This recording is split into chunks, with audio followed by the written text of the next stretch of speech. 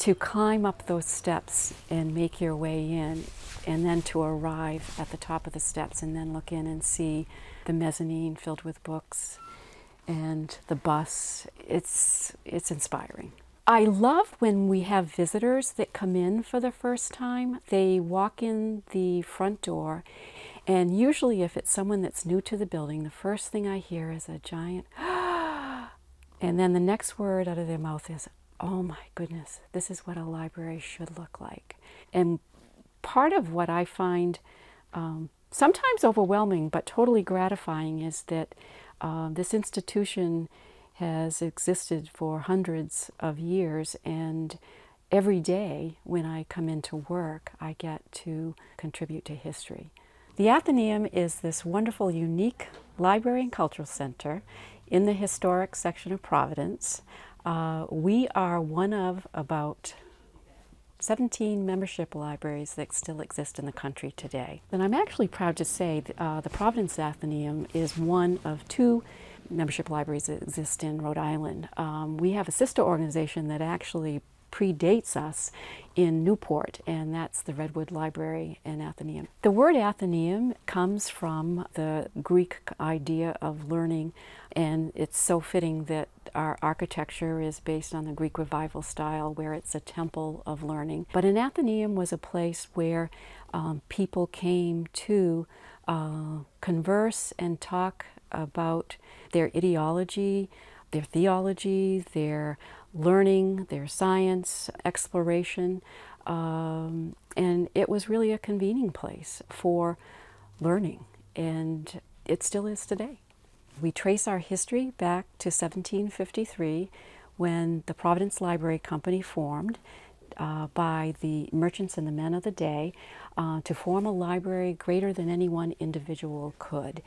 And they did that in order to share resources. And at that time, the city was growing and they wanted to make that information available to all. So the Providence Library Company existed in many places throughout the city, often being at the, in the seat of town government and they purchased their materials from England. Their original collection was about 345 titles.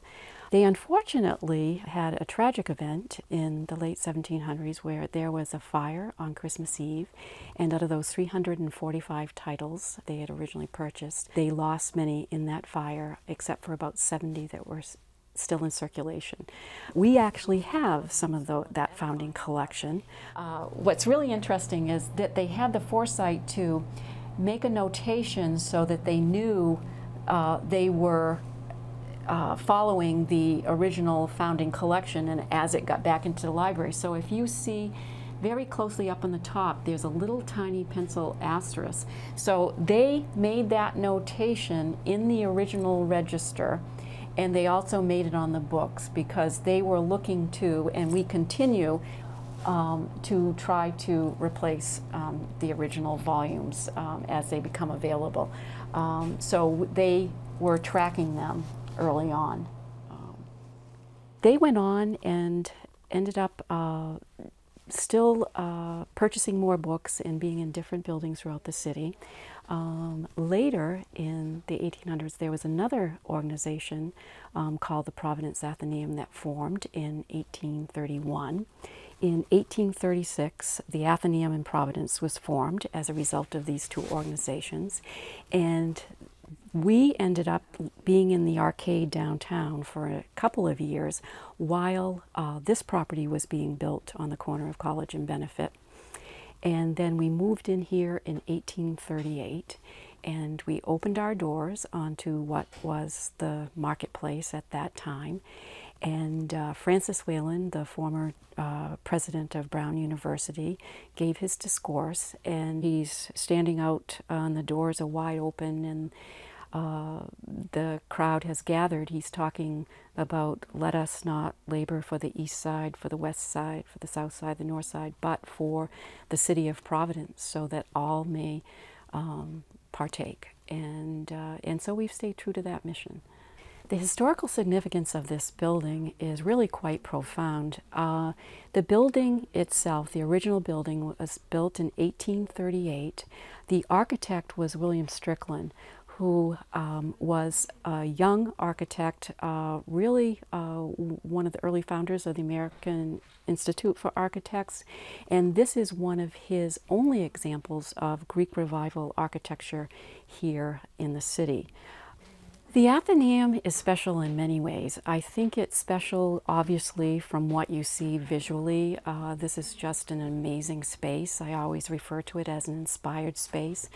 And while uh, the viewers cannot experience um, actually being the space other than visually, but there's just a, a real smell of old books and leather and um, I always liken it to frankincense and myrrh but it's just um, it's a very uh, very personal uh, space uh, and I think people come uh, for that sense of the building. I think they come because there's a real sense of community. Um, we don't have library cards. It's almost like Cheers, where everybody knows your name when you walk into the building.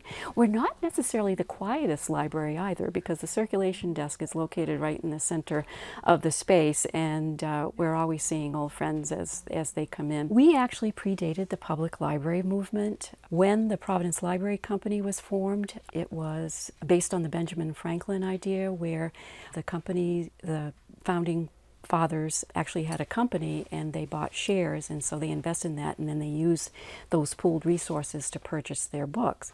The earlier organization, uh, the Providence Athenaeum, also had done a similar thing. So basically, when we were organized, we were um, membership based libraries. And so the members of that organization purchased shares and then they made those available um, to their families and so forth. When the public library movement came into being, then of course they were using the resources from the community and there was public monies to support those libraries. Membership libraries are still supported by members and so we consider ourselves, coming from that tradition, a independent member supported library open to the public. So that means all our funding, unlike the public library, basically comes from our own resources. We are fortunate that the people that started this institution years and years ago thought to steward it as well, and so we do have an endowment which we rely on. But most of our financial means come from uh, the members themselves, and they purchase the membership. So we're, while we're open to the public, people can come in, utilize the space, enjoy the space come to programs, but if they want to actually borrow a book, uh, then they would purchase a membership fee. And that's really our financial model, along with um, much fundraising. We have just under a thousand members today. As far as the type of person that finds the Athenaeum, it's usually uh, someone that um, is intellectually curious, uh, is enthralled with history, uh, is probably a bibliophile and loves books, the smell of books, uh, the feel of books. Uh, someone that is culturally invested in the community and wants to be civically engaged uh, someone that is looking for new experiences uh, through our programming. One of the reasons why tourists come through and visit the Athenaeum is they've heard these amazing stories about how Edgar Allan Poe courted Sarah Helen Whitman here. Sarah Helen Whitman was actually a, a poet herself and a writer and a prominent uh, woman here in Providence, and she had become quite enamored by Mr. Poe, much to her family's dissatisfaction because Poe had somewhat of a reputation, but Sarah Helen Whitman would come here and use the Athenaeum, and Edgar Allan Poe was known to have visited her here and courted her here in the stacks. In fact, we have a copy of the poem Ulalume that had been published in the American Whig Review anonymously, and uh, the story is that they were meeting and Sarah Helen had pointed it out and said, Oh, have you seen this poem, Ulalume? And he said, Why, Sarah, I wrote that for you. And so his signature is in pencil under that poem. our collections really re represent the reading interests of the populace at that time. And as a combination of perhaps the reluctance of our founding fathers and the librarians that continued to work here and didn't want to discard anything, we retain many of those collections. And so now those collections really re represent insights into a group of people that were trying to form a library at that time where their own civilization was really taking form. This place has witnessed um, uh, civil unrest, economic unrest, the American Revolution, weather travesties, and then still somehow has continued to um, keep its foothold. And today, um, we continue to be a circulating library, true to our mission, um, but also a very vibrant, active cultural center where we're an amplifier, if you will, of local arts and culture we've really tried to uh, embrace that part of our mission by working with the city. Members of my staff, along with me, participated in the Creative Providence Plan.